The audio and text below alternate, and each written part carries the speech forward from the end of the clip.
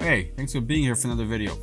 Today I got something different. Uh, we got a forensic case. I can't really show much um, labels on this case here. Let me uh, get you focus here. So this um, this case here is a dash cam that was inside of a car uh, in an accident. So it was found uh, sometimes later and it was found in pieces. I don't know why it's in pieces. That's already suspicious. So there's a micro SD card here that doesn't work apparently. So we're gonna uh, take it out and see what's wrong with it. Um, hopefully it's recoverable. Hope it's not cracked in half. I haven't even looked at it yet. So uh, I'm gonna crack it open. I'll have to be careful. I can't show too many. Um, I can't show the, the bag here because it has a case on it. Sorry about this scrunching. Uh, so let's get a knife here and cut it open the top here. What we're supposed to evidence bags are supposed to be open at the top. I'll learn this at a later date. So let's dump everything out. So let's lay it all down here and we're gonna take photos because that's how you're supposed to do this. So it's holy crap, what happened to this thing? Jeez. Um, so let's just take pictures quickly here. And um, as soon as I'm done with the photos, we're gonna get back to this case. Okay, we got the photos now, so uh, let's assess here what we got. So we're gonna put the camera aside. I don't need the camera. We just need the micro SD. And let's have a look at the microscope. I gotta turn the camera on for the microscope one second.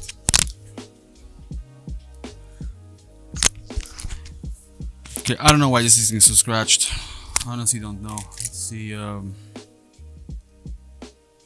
Oh, okay.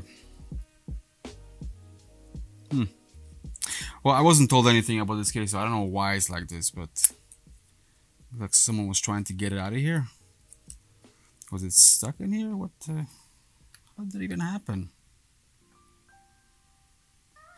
Well, okay. Anyways, so let's do a quick test on this. I'll be right back. Let me just test it, see what happens. So the card doesn't show up whatsoever. So that means it's it's um, it's too scratched or something's uh, cut on it. So um, we're gonna we're gonna get a fiberglass pen. We're gonna remove the back. I'm not gonna film this. I'm gonna remove it now quickly, and then I'll come back. I'll meet you back here when I'm done. So I got the back removed uh, using the fiberglass pen. Before someone asks, this is a fiberglass pen. So the the back was removed, and we can see now there's uh, definitely damage on one of the lines here. Uh, and I checked with the multimeter, and you can actually see that uh, there's no continuity. So if you check this uh, right here, see there's no continuity. Uh, how about this one? This one's okay. There's one more line that looks to be damaged, but this one's okay too. And how about this one? This one's good. Yeah, there's no other damage that I could see on this particular card, so I think uh, we just need to repair that one, uh, the one line there but I think um, the best uh, solution here is going to be soldering the card onto um, uh, one of these boards. Uh, so we're gonna so we're gonna mount it here, and then we're gonna run wires directly to SD protocol right here. So this way we can mount it without any issues. I mean, I could probably run wires onto the SD micro SD itself, but um, I think it'll be safer just to run wires directly to the uh, SD and hopefully it's gonna work.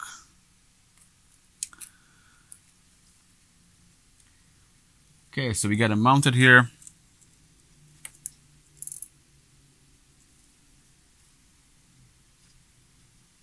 Uh, so let's wire this guy up.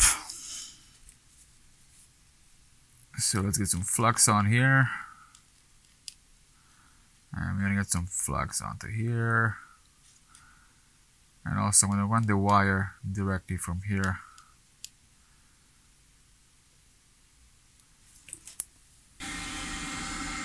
So we're gonna go from pin one, which is right here, and then we're gonna this one, then we got this one.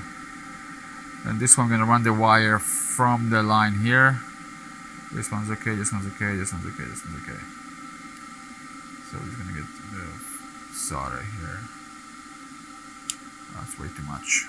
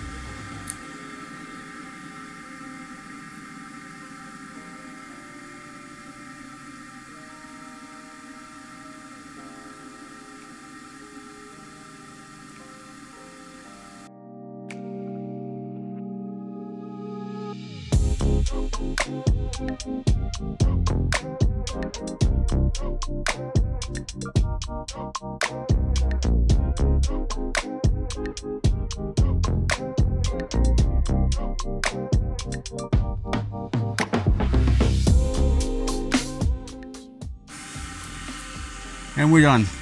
we're done soldering this thing.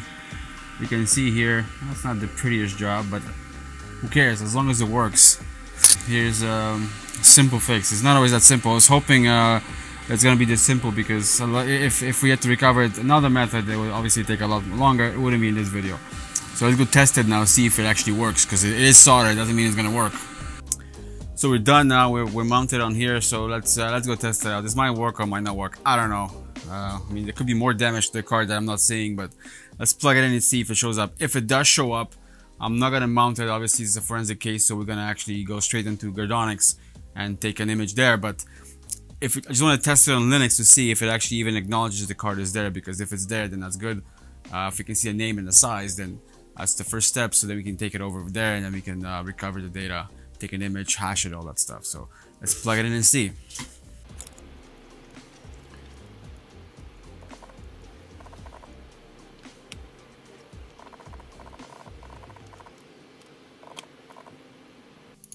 And we can see here the size showed up. We can see 16 gigabyte um, that's the card here. So no errors so that's good.